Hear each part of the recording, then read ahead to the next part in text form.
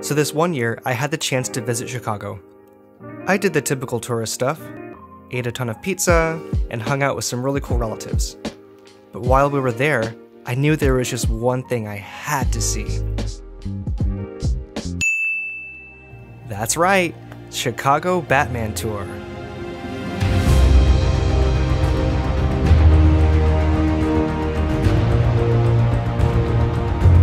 I did some research, made a ton of labels in Google Maps, and begged our great aunt and uncle to take us there. Thank you both. As cool as Batman is, he'd be nothing without the broken city he swore to protect. Throughout Batman's history, Gotham City has frequently been portrayed as an otherworldly combination of New York and Chicago, full of gothic overtones and overrun with crime.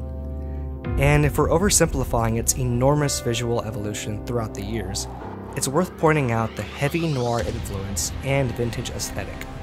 The creators of Batman Begins and The Dark Knight chose to film in Chicago because of its resemblance to the sprawling and shadowy Gotham City. During the River Tour, we were told all about the city's deep Art Deco influences on the design and architecture of many prominent Chicago landmarks, some more obvious than others. I'm reminded of Batman the Animated Series, and let's be honest, who isn't these days? Where Gotham City was inspired by Tim Burton's live action film in 1989. Producers of the show described Gotham as if the 1939 World's Fair had lasted 60 years, and Studebaker cars existed alongside police zeppelins, Tommy guns, and black and white television. The creators coined the term Dark Deco to describe their timeless Gotham. They even went as far as illustrating backgrounds directly on black paper, a controversial risk at the time that would later pay off immensely in many award winning episodes. Thanks to these animation pioneers and their unique design, we get to enjoy the modern Nolan interpretation of Batman. Sometimes I just want to tell them, What would I do without you? yeah, thank you. And hey, speaking of Joker, let's pull a heist. The opening bank robbery scene uses two buildings adjacent to one another, as well as a nearby intersection that we'll get to later. In this unforgettable sequence, we see Joker's crew gaining rooftop access to the bank via the glass building across the street. This is the real life South Riverside Plaza building and is actually across the street from the Gotham National Bank. If you look closely, you can actually see the metal vent that stands out from all the glass panes. It's the same one just below and to the right of the shattered window. Alright, let's head across the street. Both the exterior and interior shots are filmed at the old Chicago post office, just north of Interstate 290. We now go live to the post office. Hey, honey, what did we just see? Some Batman building? Some Batman building! Holy Gotham National Bank! What? The Joker robbed this place. Oh my gosh! Okay, never go live again. The actual address is 404 West Harrison, but the closing shot with the getaway bus can be seen at the corner of West Van Buren Street and South Canal Street. So, what happens to old government buildings in Chicago? Well, it turns out the property was bought by a New York based real estate agency to be renovated into high end retail and living. How much did that cost anyway? Never mind. Easily one of my most favorite locations is the intersection of West Van Buren and South Franklin Street. In the film, the Joker waits for the other bank robbers at the sidewalk facing east with his back turned to the west. Since the composition and blocking of the shot are the most easily recreated on the list, I decided to try it out. As you can see, the shot in the film uses a very wide angle lens and sits well below Heath Ledger's waist. The background is slightly out of focus, and the lines leading to the vanishing point don't line up exactly. Still, I was very thrilled to have stood at a great moment in film history. This spot is actually just east across the river from the post office, making it geographically accurate in real life. Notice how even the building in the recreated shot wasn't built yet during production. Hey, you can see it for yourself. Just watch out for traffic. Next up is actually from Batman Begins, but it deserves to be on this list because it stars in a major scene at the end of the film.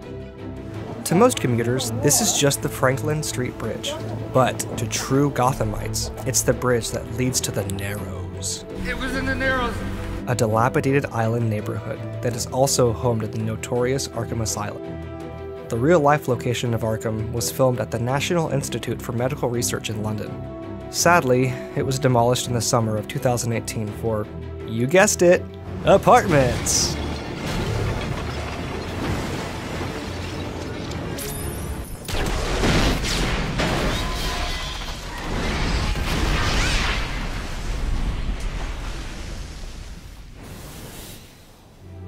Chicago authorities agreed to raise the bridge for the third act when the Narrows is bug bombed by the Scarecrow's fear toxin and cut off from the rest of the city. Batman jumps the river in the tumbler to reach Gordon and stop Ra's al Ghul. Here it is again for a better look.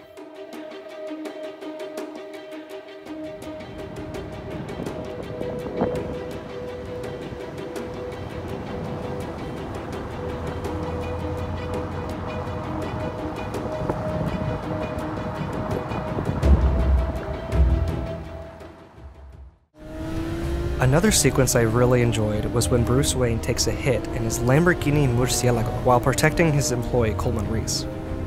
Fun fact Murcielago is Italian for bat.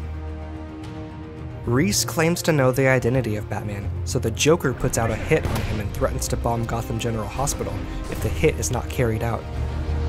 Mr. Reese? The crash happens at the real life intersection of West Illinois and Franklin Street. For the best view, head north. Oh, oh, sorry. I meant south. Wait, north? the light's red! Okay, so I tried to figure out the direction of the vehicles, but it turns out the clips cut back and forth from driving north and driving south. From our vantage point, we drove south on Franklin. South on Franklin. Notice how the Gene and Georgetti Steakhouse sign switches places.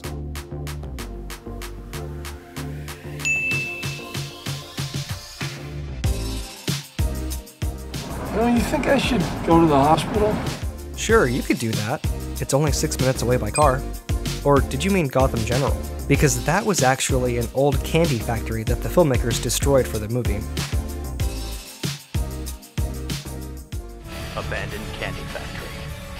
His style.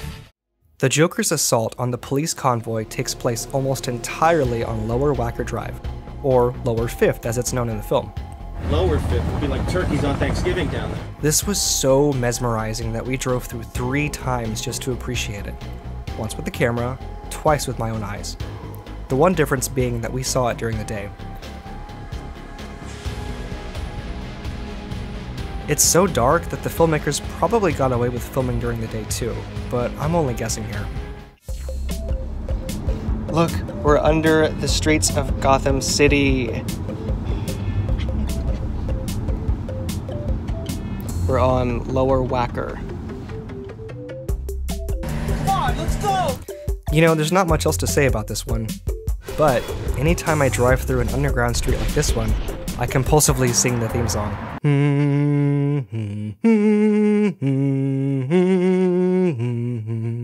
Our last stop on the tour has a lot to unpack, but it's worth it, so stay with me.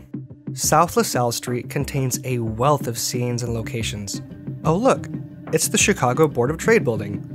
This is actually the headquarters of Wayne Enterprises from Batman Begins. In The Dark Knight, Wayne Tower is actually the Richard J. Daley Center.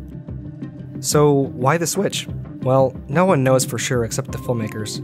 The desire might have been to make Batman Begins resemble a gritty, noir, urban, and hellish place. Notice how the city takes on a sleeker, more corporate appearance in The Dark Knight. There are lots of opinions and thoughts on the matter, but the vast majority agrees on the subject of tone and aesthetic. Batman Begins is about subterfuge and fear, while The Dark Knight is about anarchy and upsetting the establishment. Batman Begins takes place primarily in the Narrows. Dark Knight moves up to city halls and boardrooms. The Chicago Board of Trade building is where the GPD honors the fallen Commissioner Loeb, and the Joker fails an assassination attempt on the mayor. The wide angle lens makes it appear to be a narrow city street, but in reality, it's quite large. And finally, the entire valley of the financial district itself is home to the second confrontation between the Batman and the Clown Prince of Crime. Everything from the helicopter crash to the 18 wheeler flip all happened here. If you look close, you can even see the plaque on the Board of Trade building where the Batpod does a backflip off the wall to zero in on the Joker.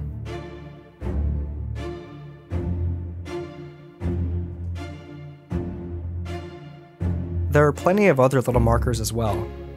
This Starbucks behind the Joker, and the Batman. And this sign that plainly reads 29 LaSalle. We were told that locals had watching parties on their balconies, but even the advance warning didn't seem to have reached everyone. Emergency services received calls reporting a terrorist attack on the city. That's how you know you're making a realistic action sequence. Now, for extra credit, you can go see the ones that I left off this list. It's by no means exhaustive. The parking garage at 200 West Randolph contains two scenes. First, in Batman Begins, the Caped Crusader eludes the police and the Tumbler while rescuing Katie Holmes, I mean Maggie Gyllenhaal, I mean Lois Lane, I mean Rachel Dawes from the Scarecrow's fear toxin.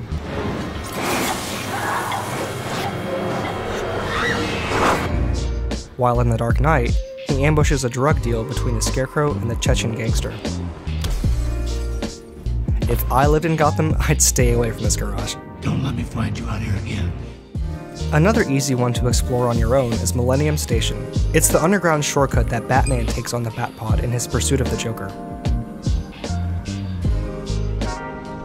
And finally, Trump Tower was the final showdown between Batman and the Joker. Why so serious? No, no, not that one.